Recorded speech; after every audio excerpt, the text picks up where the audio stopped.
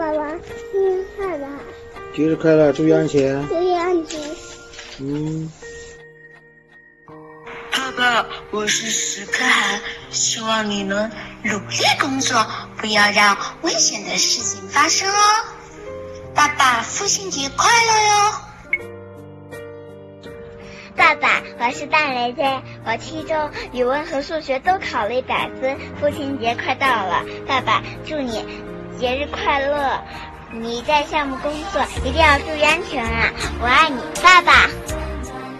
爸爸，我是你的徐安能，父亲节快乐！